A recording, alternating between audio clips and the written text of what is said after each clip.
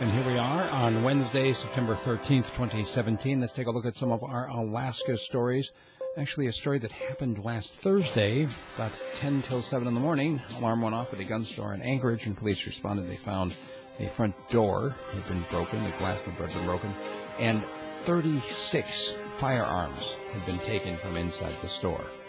Right now, the Bureau of Alcohol, Tobacco, and Firearms is taking the lead, local police are helping them couple of different nuisance bears were relocated in the Petersburg area. Uh, the, the, most recent one here at the beginning of September, about a 200 pound black bear that's been getting into garbage.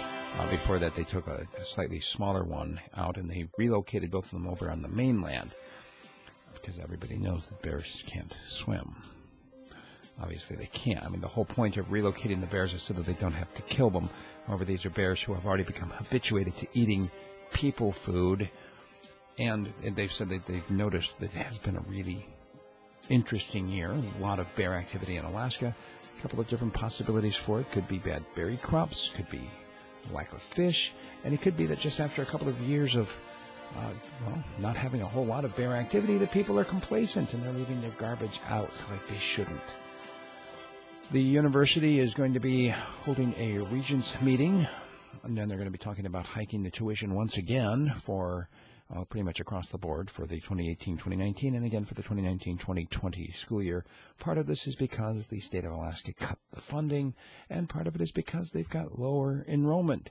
And so the solution that they're talking about is raising the price for everybody else. The group called Incorporate Nikiski, And their whole point is to take this unincorporated community of Nikiski and make it its own city.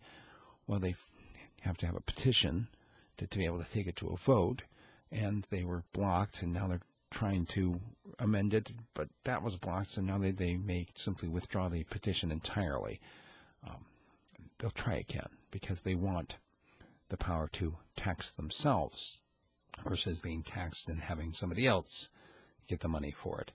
The Fairbanks City Council did, in fact, advance a stipend for paying for water for people whose water sources were contaminated by the city of Fairbanks. Now, this goes back to the 1980s when the city of Fairbanks and actually quite a number of other places, including North Pole and at Eielson Air Force Base, the firefighters were using a foam for practice of putting out fires. Now, this foam has perfluorinated carbon compounds, whatever, PFCs. The point is that these contaminate the water supply when they get down into it and can poison people.